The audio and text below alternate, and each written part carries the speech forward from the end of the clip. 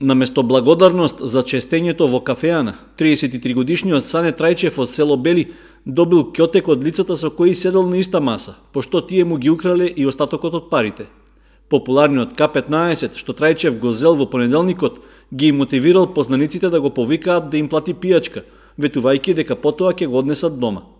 Но автомобилот наместо кон Бели свртел во правец на Пониква и на патот над селото тие почнале да му се закануваат.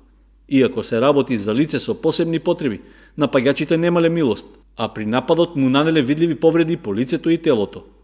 На асфалтот, каде што Трајчев бил тепан, се гледаат траги од крв. Удираваме tego, tego.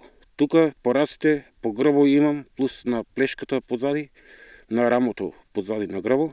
Пари 6500 динара, ништо не ме ги парите тука, не са парите, не ме ги ја ги уситив, уште кога префрлив преко брани кога избегава од нив, кога они се загнаа по мене и ништо од пари, они се ги земали парите, тоа е веројатно.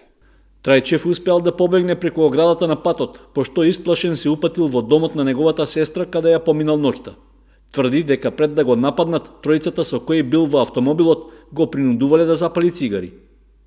И тие тука, кога излинават колата, пушија некој увид на тутун, они го правеа, ме ме тераа да пушам, ја не да пушам, Културале е тоа они да мотат тука и мен да ме терат цигари да мотат, а они тоа не е било цигари, тоа е било марихуана и некоја голема штета, што ја не кеов таквија цигари.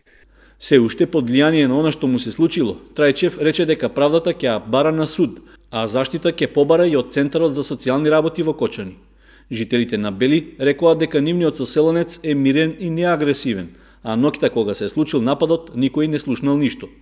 Настанот веќе е пријавен во полиција, од каде се работи на расчистување на случајот.